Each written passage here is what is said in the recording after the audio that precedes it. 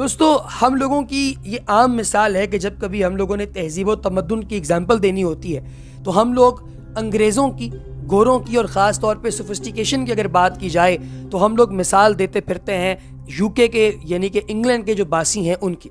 हमें लगता है कि शायद वो दुनिया की सबसे महजब कौम है, लेकिन ये जो वीडियो आप लोग देख रहे हैं इसके अंदर यूनाइटेड किंगडम यानी इंग्लिस्तान से ताल्लुक़ रखने वाला एक गैंग है नौजवानों का, जो कि एक बहुत बड़े ज्वेलरी स्टोर के अंदर दाखिल हुआ। ये गैंग भी छोटा नहीं इसके मेंबर्स भी ठीक ठाक मेंबर्स हैं। ये उस ज्वेलरी स्टोर के अंदर दाखिल हुए और इन्होंने पलक झपकते ही इस पूरे के पूरे ज्वेलरी स्टोर को बिल्कुल खाली कर दिया, मिलिया मेट कर दिया, इसकी एक एक चीज़ को चुरा लिया और वहाँ से भाग गए। इनके चेहरे ढके हुए थे और पुलिस अब तक इन लोगों को गिरफ़्तार करने में नाकाम है। पुलिस इन्हें पकड़ नहीं पाई।